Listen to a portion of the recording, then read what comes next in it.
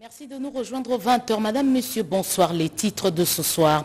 Pas de panique, il n'y a pas d'ennemis à Goma. Les rumeurs affirmant le contraire sont véhiculées pour créer la panique générale au sein de la population. Dans une déclaration, le général Constant Lima appelle la population à la résistance et à vaquer à ses occupations. Justement, le facilitateur désigné par la communauté de l'Afrique de l'Est est arrivé à Goma aujourd'hui.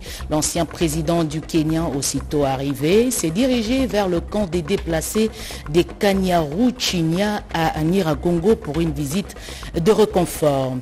La Belgique décourage l'immigration clandestine sur son sol par des sujets étrangers. Les Congolais désireux de s'y rendre sont priés de recourir aux voies légales. Une mission de migration est à Kinshasa pour le renforcement de la coopération et la sensibilisation aux bonnes pratiques. C'est tout pour le sommaire. Madame, Monsieur, bonsoir et merci de votre fidélité.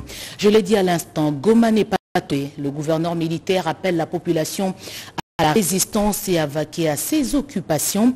Des folles rumeurs affirment le contraire. Dans une vidéo d'une minute, le gouverneur du Nord vous allez l'entendre, qu'il n'y a pas de présence de l'ennemi à Goma. On l'écoute. Compatriotes, au regard des rumeurs faisant état de la présence ennemie dans la ville de Goma, lesquelles rumeurs sont véhiculées par l'ennemi afin de créer une panique générale au sein de la population. Je vous demande de rester calme et de vaguer librement à vos occupations.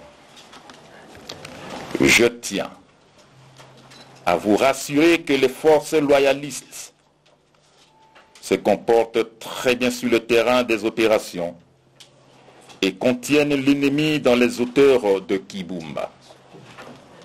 Toutefois, je vous demande de rester vigilant et de résister à l'ennemi. Je vous remercie. Ce message sans ambiguïté d'Oro Kenyatta au rebelle M23, vous ne devez pas exiger le dialogue en créant un désastre humanitaire. Il a dit au cours d'une conférence de presse à l'hôtel Serena. Le facilitateur, vous le savez, dans la crise RDC Rwanda est arrivé à Goma aujourd'hui de la République du Kenya et facilitateur dans la crise sécuritaire qui sévit à l'est de la RDC est arrivé à Goma ce mardi 15 novembre 2022. Uhuru Kenyatta foule les sols du Nord Kivu après son séjour de près de 48 heures à Kinshasa. À l'aéroport international de Goma, l'ex-chef de l'État kenyan a été accueilli par le gouverneur militaire du Nord Kivu, le lieutenant-général Constant Makongba et ses collaborateurs. Étaient également à son accueil les officiers kenyans arrivés à Goma il y a peu. Juste après, les facilitateurs désigné par la communauté de l'Afrique de l'Est s'est rendu à en territoire de Niragongo. Question pour lui de s'imprégner de la souffrance qu'endurent des centaines de milliers de déplacés de guerre ayant abandonné leur village dans les Rutshuru. Les choses doivent être claires. Toutes les parties prenantes aux discussions de paix doivent reconnaître la légitimité et la légalité du gouvernement congolais. Devant la presse à Kinshasa, l'ex-président kenyan est revenu sur les missions de son mandat. Guilain Kabalundi. Après s'être entretenu dimanche soir avec le staff de la MONUSCO et lundi avec les acteurs étatiques, de la société civile et des diplomates accrédités à Kinshasa, le facilitateur du processus de paix de Nairobi a, au terme de ses consultations, fait la restitution à la presse. Uhuru Kenyatta dit avoir fait part à ses interlocuteurs des exigences qu'impose le mandat qui lui a été assigné. Il a indiqué sa télé a amené les parties prenantes à reconnaître le gouvernement légal et légitime de la RDC sous le leadership du président Félix Antoine Tshisekedi Chulombo, à respecter la constitution de ce pays ainsi que la souveraineté et l'intégrité de son territoire. Nous ne sommes pas venus ici avec euh, un, état d'esprit particulier quant à dicter ce qui devrait arriver, mais plutôt dans un esprit de compréhension et euh, du mandat qui nous a été euh, donné. Nous sommes venus ici pour écouter le peuple du Congo, parce que notre travail n'est pas de leur dire ce qu'ils doivent faire, mais juste de faciliter et ramener la paix parmi les différentes partis. Nous avons eu cette opportunité et nous avons euh, entendu assez et nous envisageons maintenant par rapport au message que nous avons aujourd'hui, tous les groupes qui tiennent toujours les armes doivent déposer ces armes et choisir la voie de la paix à la question lui posée sur le contenu des échanges qu'il a eus avec les membres du corps diplomatique, l'ex-président kenyan a fait savoir qu'il a insisté sur le partenariat devant caractériser dorénavant leur collaboration pour le retour de la paix dans l'Est de la RDC. Nous sommes ici comme partenaires et vous aussi êtes ici comme amis et partenaires du Congo. Nous devons travailler ensemble et euh, mettre, ensemble, les idées pour nous rassurer que nous, atteignons ce que notre partenaire euh, veut en tant qu'ami et c'est de la peine. Et nous avons eu une bonne discussion avec eux sur le fait qu'ils sont prêts à travailler avec le gouvernement de la RDC et le peuple de la RDC pour atteindre euh, cette assistance. Aux groupes armés ayant déposé les armes et aux médias, l'ex-président kenyan a exhorté ces derniers à œuvrer de sorte à créer une synergie susceptible de favoriser la stabilité et le développement de la République démocratique du Congo. Les jalons de la tenue de pourparlers des Nairobi 3 posés à Kinshasa, les facilitateurs réparent avec les sentiments d'une mission achevée, du moins pour cette première étape. Sécurité des journalistes, dépénalisation des délits de presse, montée des discours de haine. Le porte-parole du gouvernement a eu des échanges autour de ces questions avec les ambassadeurs des pays membres de l'Union européenne. Ils ont également salué les progrès réalisés par la RDC en termes de classement mondial sur la liberté de la presse. Gaëtan Magalano reportage. Durant plus d'une heure, le ministre de la Communication et Médias a échangé avec les ambassadeurs membres de l'Union européenne, du Canada, de la Suisse, de la Norvège et des États-Unis d'Amérique autour de la liberté de la presse et de discours de la haine. Ces ambassadeurs ont renouvelé leur bonne volonté d'accompagner la RDC dans le processus de validation du projet de loi sur la liberté de la presse actuellement au niveau du Parlement. Nous avons euh, conjointement euh, constaté avec le ministre la nécessité de renforcer la liberté de la presse au niveau du cadre juridique, ainsi que de renforcer bien sûr toutes les questions de sécurité, de sécurité des, journalistes. Dans sa parole, le ministre Patrick Mouyaya a insisté sur le partenariat qui existe entre la RDC et la communauté internationale. Le porte-parole du gouvernement RD congolais a également insisté sur la nécessité de bannir le discours de la haine. C'est faire le jeu de l'ennemi que de penser qu'aujourd'hui on peut commencer à les désigner ou à les stigmatiser ou à penser qu'il faut euh, aller exprimer de sentiments de colère vis-à-vis d'eux. Nous sommes dans un processus diplomatique qui a ses règles et pour ce qui leur concerne, ils font leur part et nous, nous faisons la nôtre. Associé à cette rencontre aux côtés de diplomates, Chivis Chivwadi de l'organisation Journalistes en danger a préféré évoquer les avancées déjà enregistrées en matière de la liberté de la presse depuis l'avènement de Patrick Mouyaya à la tête du ministère de la Communication et Médias. Ce gouvernement et ce ministère avec lesquels nous avons organisé les états généraux de la presse et que nous sommes engagés dans la dynamique de la dépénalisation de l'île de presse et la mise en place euh, d'un mécanisme national de protection des journalistes. Donc autant d'avancées qui justifient aujourd'hui que notre pays, euh, la RDC, a gagné beaucoup de points au classement mondial de la liberté de la presse. Il ressort la nécessité de renforcer la sécurité des journalistes, la dépénalisation de délits de presse et la mise en place de nouveaux textes de loi sur la presse. Des messages de soutien aux forces de défense, à la ligne de front et au président de la République fusent de partout au Congo profond, au Congo profond, de Mweka à la Chopo. Les détails en images. L'appel du chef de l'État lancé aux Congolais pour barrer la route aux rebelles du 1-23 a trouvé un écho favorable auprès de la province de la Chuapa. L'union sacrée de la nation Chuapa invite-t-elle tous ses fils et filles à soutenir nos forces armées pour une victoire écrasante contre l'agresseur rwandais et ses marionnettes terroristes du M23 et demande à la jeunesse de la Tuapa à s'enrôler massivement au sein des forces armées de la République. L'Union sacrée de la nation, coordination de la Tuapa, félicite son Excellence Félix Antoine Tshisekedi Chilombo pour son engagement politique élevé au prix du sacrifice suprême à défendre l'intégrité territoriale devant les désastres humanitaires et crimes de guerre infligés à nos populations de l'Est. L'Union sacrée de la Chuapa leur témoigne compassion et solidarité. Aujourd'hui, avec la détermination du président de la République, chef de l'État, et la montée en puissance de nos forces armées, nous voyons déjà pointer à l'horizon la victoire et le retour imminent de la paix dans notre pays.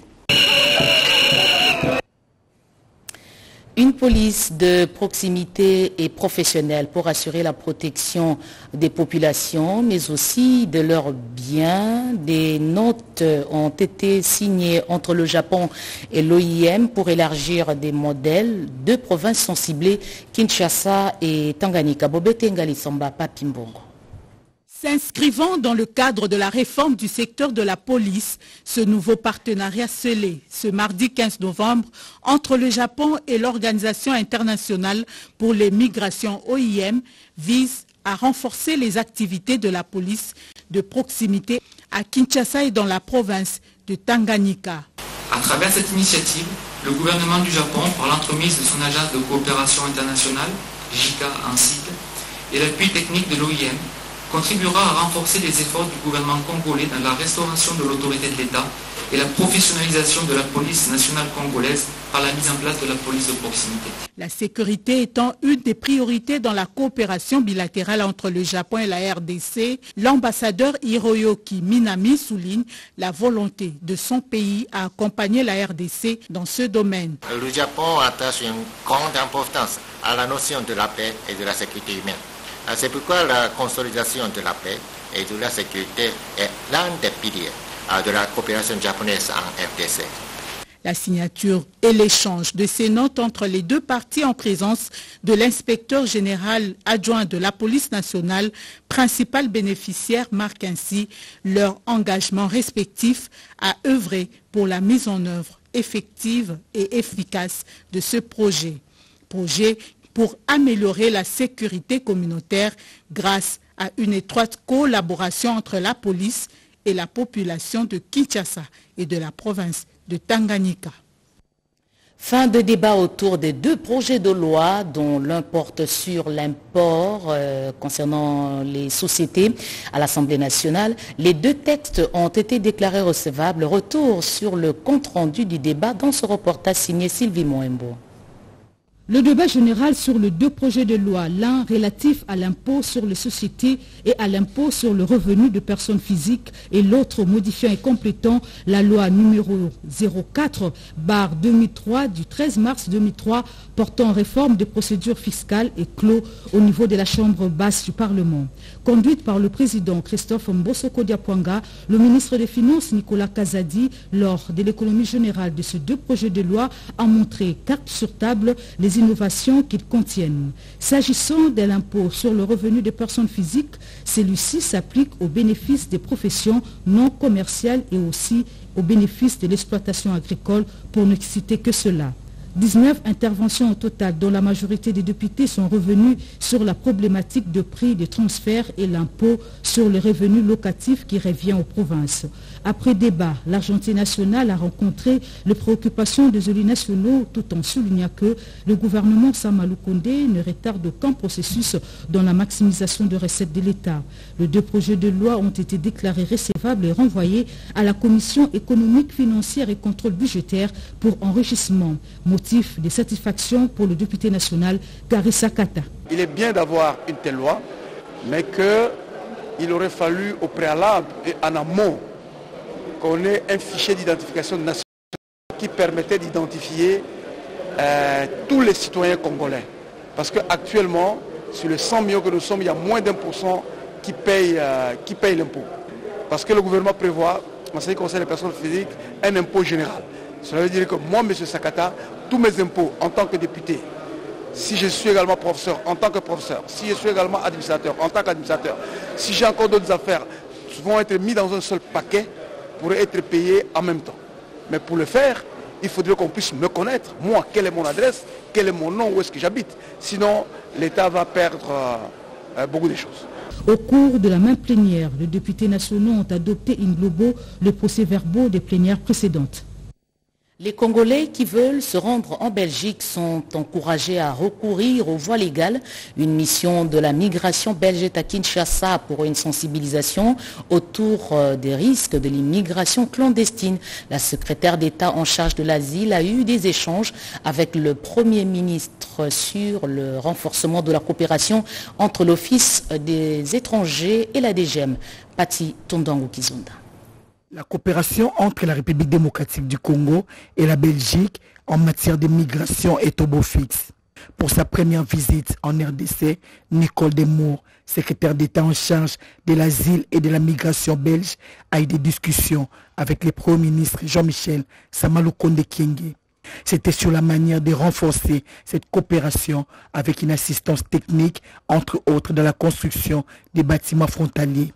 La Belgique et la RDC ont une coopération excellente en matière de migration et je suis ici pour euh, discuter cette coopération qui était là depuis des années avec une assistance technique par exemple dans la construction des bâtiments frontaliers. Hier j'étais à Kenge pour euh, l'inauguration d'un de ces bâtiments et c'était pour moi une visite extraordinaire et un exemple d'une bonne coopération qu'on a entre l'Office des étrangers de Belgique et la DGM du Congo. La migration est une matière assez complexe avec différents aspects et nous sommes ici pour en parler aussi pour encourager les gens qui veulent venir en Belgique d'utiliser les voies légales avec des conditions euh, légales. Ça, c'est aussi euh, une partie de, ma mission, des campagnes d'information pour informer euh, les gens sur les voies de migration légale et les risques d'une migration clandestine. L'immigration clandestine comporte d'énormes risques. La mission de cette diplomate belge en République démocratique du Congo, c'est aussi pour encourager ceux qui veulent aller en Belgique d'utiliser des voies légales. ABB Airlines, une nouvelle compagnie aérienne pour desservir euh, les vols domestiques en RDC. La flotte dispose de trois appareils. Il s'agit d'une société à capitaux 100% congolais. Elle commence avec trois appareils, un Boeing 737 de 114 places et deux petits porteurs. La compagnie AB Airlines va faire des vols domestiques, c'est-à-dire à, l'intérieur du pays. Le ministre des Transports, voie de communication et des désenclavements chérubins au Kende a reçu les avions de la société AB Airlines et a assisté à son vol inaugural. Le ministre a également effectué une visite guidée des avions de cette compagnie et a simulé un vol. Le directeur général de AB Airlines a sollicité plus d'accompagnement du gouvernement. La compagnie aérienne AB Business Travel, une compagnie à capitaux 100% congolais, venue répondre à l'appel aux investissements lancés par le président de la République, Félix Tshisekedi Chilombo, à son tour, Chéribin Okende a souligné que sa présence et celle du vice-ministre est un signe d'encouragement de l'entrepreneuriat privé, comme le souhaite le chef de l'État. Le secteur de transport, voie de communication et de désenclavement est un secteur fondamental. Nous ne pourrons jamais prétendre développer ce pays aux dimensions sous-continentales sans infrastructure et offre de transport dans le système multimodal de notre euh, système de transport. La compagnie d'aviation AB Airlines pourrait, si elle s'optimise, commencer les vols internationaux avec la cinquantaine des droits de trafic qu'a la République démocratique du Congo. La RDC, pays solution avec le lithium, le cobalt dans la fabrication des batteries et véhicules électriques, à Charmel Cheikh, Julien Paloukou, ministre de l'Industrie, a démontré la place de la RDC dans le monde écologique. Eric Kabamba. Les chiffres est bien impressionnant. D'ici à 2035, la demande des véhicules électriques variera autour de 200 millions et 900 millions. D'ici à 2050, Problème, l'offre des matières premières a du mal à satisfaire la demande qui ne cesse d'exploser. Face à ces déséquilibres entre l'offre et la demande, l'RDC, grâce à ses potentiels minéraux stratégiques, peut jouer un rôle prépondérant À Sharm el-Sheikh en Égypte, où se tient la COP27, le ministre de l'Industrie Julien Paluku Kaongia a vanté les réserves stratégiques dont dispose son pays pour la fabrication des véhicules électriques qui ne polluent pas l'environnement. Objectif, permettre à la RDC de capter ces marchés car les secteurs de l'automobile se tournent aujourd'hui de plus en plus vers la fabrication des véhicules électriques. Ceci pour lutter contre le changement climatique. La RDC a une réponse, c'est à travers, un, ses forêts, deux, ces minéraux stratégiques que sont les cobalt, les lithium, les manganèses, les nickel, etc. Cette vision du président de la République pour nous dire, nous avons commencé une initiative avec la Zambie, celle de devoir construire la première usine de fabrication de précurseurs de batteries électriques en RDC d'une étendue de 2000 hectares pour abriter la première zone économique spéciale. Séduit par les explications de Julien Paluku Kaungia, Afrexim Bank, Badeya et AFC, ces institutions africaines ont accepté d'appuyer financièrement la RDC dans la mise en place de son gigantesque projet de fabrication des usines de batteries électriques. L'atteinte à la personnalité, les diffamations. En Corée du Sud, ces infractions sont jugées par les tribunaux du comité d'arbitrage des médias. Dans le cadre d'un partage d'expérience, un groupe de journalistes congolais en mission à Séoul a eu des échanges avec cette structure. Envoyé spécial Sandra Nyangitabou. Corée du Sud, l'unique pays au monde qui a mis en place depuis quatre décennies un comité d'arbitrage des médias.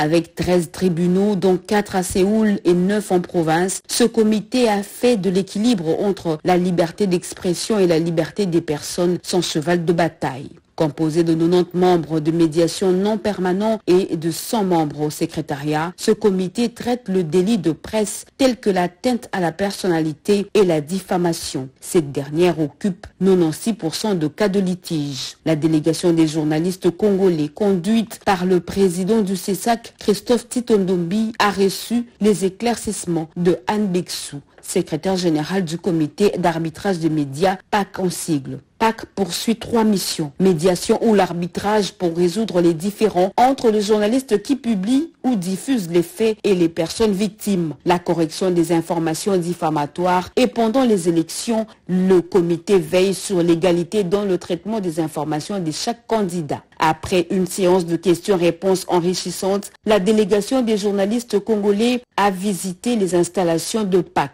en passant par la salle de traitement où les plaintes sont déposées jusque dans la salle d'audience informatisée. Ici, tout se passe à huis clos, un processus de consentement. Les plaignants et l'accusé sont appelés à trouver un accord amiable. Au cas contraire, le dossier sera transféré à la justice. En séjour à Séoul depuis le 6 novembre courant, les participants à la formation sur le renforcement de capacités de suivi des médias publics en RDC ont poursuivi les travaux organisés par l'agence coréenne de coopération internationale COICA. Le rôle de la presse dans une société démocratique, dans la politique et chez le public, module dispensé par le professeur Kim Shu-sink de Hankook University. Politique, Victor Wankwenda n'a pas qualité ni mandat pour destituer un secrétaire général nommé par la présidence du parti. Ces déclarations sont de l'organe législatif de l'UDPS, parti présidentiel. Pour plus de détails, je vous propose de suivre ceci. Wankwenda a déclaré explicitement que le poste du secrétaire général à l'UDP Tshisekedi est vacant. Les propos tenus par M. Wakwenda sont graves éternise l'image du parti. Il nous pousse d'ailleurs, pour rafraîchir la mémoire collective, M. Victor Wakwenda avait été désavoué pour des faits suivants. Le non-respect des instructions de la haute autorité politique de référence du parti, interdisant aux membres de nos organes de faire des déclarations tapageuses dans les médias, violation multiples et répétées des statuts et règlements intérieurs tant du parti que de la convention démocratique du parti. Étant donc notifié de sa déchéance et de son exclusion de l'IDPS, qu'il avait d'ailleurs contresigné, il n'appartenait plus à M. Wakwenda à défier la haute cour disciplinaire du parti, dont les sentences sont prononcées en premier et dernier ressort. Ce que nous disons ici, Wakwenda lui-même a eu à le dire ici, le 29 janvier 2022, lors du prononcé de la mesure disciplinaire contre l'honorable Jean-Marc Kabound à la permanence. Donc, il ne peut faire l'exception. Même si Wakwend était encore président de la CDP, le secrétaire général de l'IDPS est nommé par le président du parti. nous disons que c'est de la pire diversion et de non-événement. La Convention démocratique du parti charge l'exécutif national du parti de saisir les instances judiciaires compétentes pour mettre définitivement un terme à cette comédie qui a trop duré. De l'eau potable pour la population de Mango Boaki Sangani, Gentil Bolamba est derrière cette réalisation. Il est cadre de l'UDPS qui se lance dans des actions sociales à l'Imbikaï. Nommé mandataire au Fonds de promotion de l'industrie FPI, Abigail Wanzambi est revenu à sa section de Badara pour la remercier du choix porté sur sa personne. Accompagné d'Augustin Kabouya, secrétaire général de l'Union pour la démocratie et le progrès social UDPS, Abigail Wanzambi s'est adressé aux combattants de cette partie de la capitale. mpona kotikela hiérarchie à partir na ngai secrétaire général augustin maloba mais avant cela laissez-moi quand même avant kobanda koremercier section oyo eorganise bilulu ya lelo se mobiliser avec vos propres moyens. Bolakisi mpenza bolingo. Même secrétaire général esika aza amoni ke effectivement lorsque bopesaki ye nkombo na nga ezalaki parce que nazalaki choix na bino makoki kopona président na sectionnaire Le secrétaire général de l'UDPS, Augustin Kabouya, a pris la parole pour rappeler la responsabilité de tout Congolais en cette période d'agression rwandaise. Les jeunes doivent prendre conscience. Les jeunes doivent intégrer l'armée. Il ne faut plus croiser les bras. Il faut intégrer l'armée. Aujourd'hui, le commandant suprême a mis tous les moyens nécessaires pour valoriser notre armée. Et nous, comme collaborateurs, nous devons soutenir les commandants suprêmes. Le devoir de reconnaissance et d'appartenance à une section de l'Union pour la démocratie et le progrès social UDPS a ramené Abigail Wanzambi, aujourd'hui administrateur, à sa section de Badara. Fin des travaux de la quatrième édition du Forum international de la femme. On signale un nombre important des femmes congolaises ont participé à ces travaux. Beaucoup plus de femmes évoluant dans le domaine de poste, téléphone et nouvelles technologies. La quatrième édition du Forum international de femmes consacré aux enjeux de la révolution digitale pour les femmes africaines s'est clôturée le dimanche par une soirée de gala organisée par le cabinet conseil en coach, coaching et développement personnel et professionnel JICA Corporation. Plusieurs femmes dignitaires de la RDC et celles d'ailleurs venues en forte délégation ont pris part à ces grands rendez-vous annuels de femmes, toutes tendances confondues. L'objectif était de permettre aux femmes d'avoir une nouvelle perspective dans leurs différents domaines d'activité, comme le souligne Madame Sinaï Exaucé Olangui. En tout cas, ce que je peux demander aux femmes, de venir se former. Parce que quand on, a la formation, ça nous amène à, à la connaissance. Il y a beaucoup de femmes commerçantes, tellement qu'ils ne savent pas comment utiliser le téléphone, même l'Internet. Je peux dans leur business, ils ont, ils ont perdu beaucoup durant la Covid parce que tu ne pouvais pas aller au marché pour vendre. C'était une occasion pour Gisèle Catal de remercier tous les participants pour l'attention accordée à JICA Corporation. De son côté, le directeur du cabinet au Pétentique, M. Séraphin Umba KPP, qui a clôturé ses assises, a exhorté les femmes à la culture du numérique. Cette cérémonie a été marquée par la remise des trophées à Dassa de plusieurs catégories aux femmes qui ont excellé dans tel ou tel autre domaine. Ce soir, j'ai été reconnu par euh, JK Corporation, à sa tête la General Manager, Mme Gisèle Katam, et toute son équipe. En tout cas, c'est un sentiment de, joie. Madame Priska Koo de la République du Gabon a été couronnée marraine Afrique et Diaspora de la 4e édition de FIF 2022.